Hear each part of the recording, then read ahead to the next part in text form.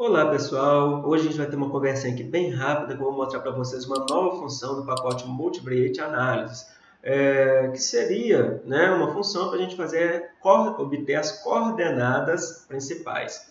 Antes de explicar o que é, é coordenadas principais, vamos abrir as funções aqui, os arquivos de exemplo, para ficar bem mais fácil de nós entendermos. É, a primeira coisa que a gente sempre faz é ativar o pacote. Né? Então vamos ativar o pacote. Para quem não instalou ele ainda, dá uma olhadinha nos outros vídeos que eu já ensinei como é que faz isso. Então vou ativar aqui o nosso pacote.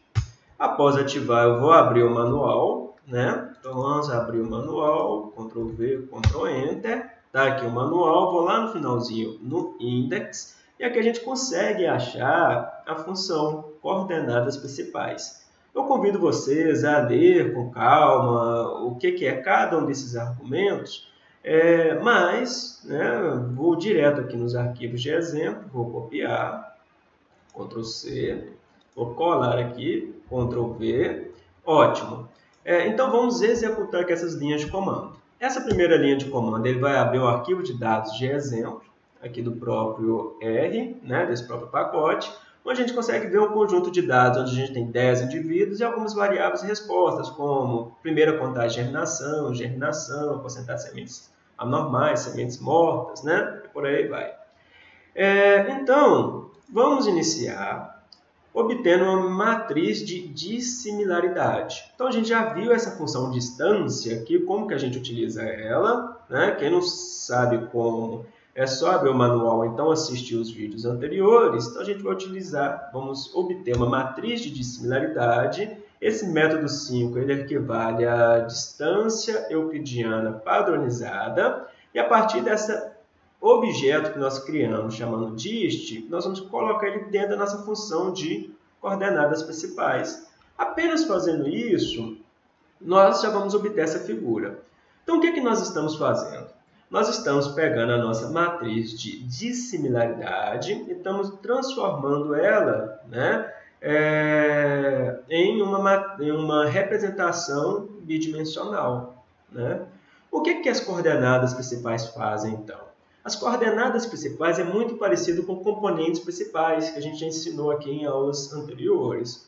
Os componentes principais, né, a gente trabalha diretamente com o nosso conjunto de dados em nível de médias, né, é, ou melhor, com dados quantitativos, e a partir desses dados quantitativos a gente obtém uma matriz de variância com variâncias, e a partir dessa matriz de variância com variância a gente consegue obter autovalores e autovetores. Quando a gente utiliza coordenadas principais, né, ao invés de a gente trabalhar com essas matrizes de variâncias e covariâncias, a gente trabalha com matrizes de dissimilaridade. Então, a partir da matriz de similaridade, a gente consegue obter autovalores autovetores, e a partir disso a gente consegue fazer uma representação bidimensional. Então, a gente pode falar que coordenadas principais nada mais é do que uma generalização dos componentes principais, em uma situação onde nós vamos trabalhar diretamente com a nossa matriz de dissimilaridade.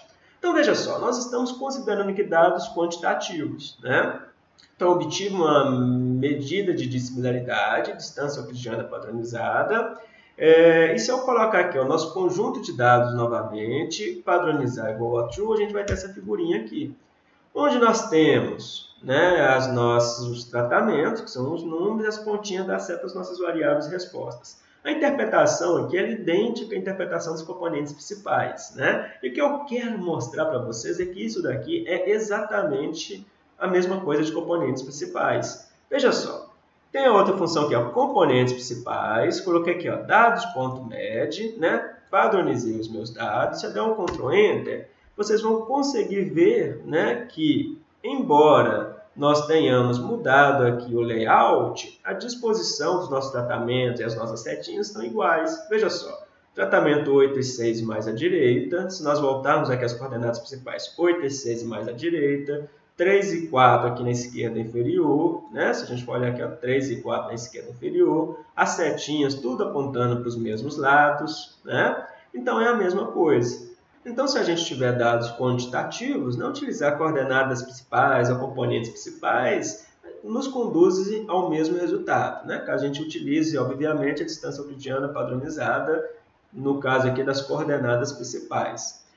É, mas, né, se a gente tiver dados quantitativos, faz muito mais sentido a gente utilizar componentes principais, que é uma, uma técnica né, mais tradicional e mais correta para a gente utilizar nessa situação. Né? Embora vai dar o mesmo resultado como a gente viu aqui.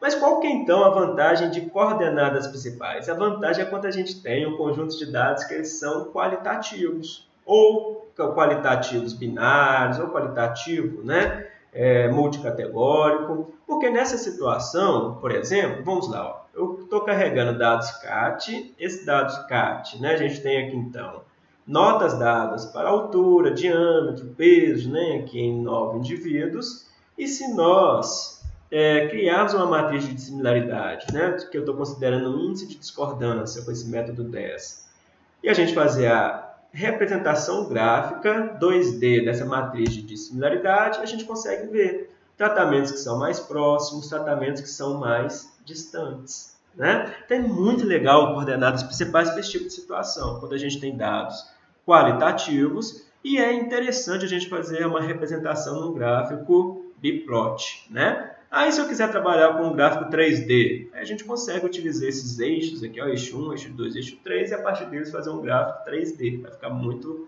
legal também. Então é isso, pessoal. A gente aprendeu aqui uma metodologia diferente, coordenadas principais, vimos como que a gente consegue fazer isso dentro desse pacote. É, e fique de olho que em breve a gente vai colocar aqui novas funções do, desse pacote. Eu criei novas funções e a gente ainda não postou todos esses vídeos. Então fica de olho aí, se inscreva no canal para receber notificações e compartilhe o vídeo aí com o colega de vocês. Até a próxima aula.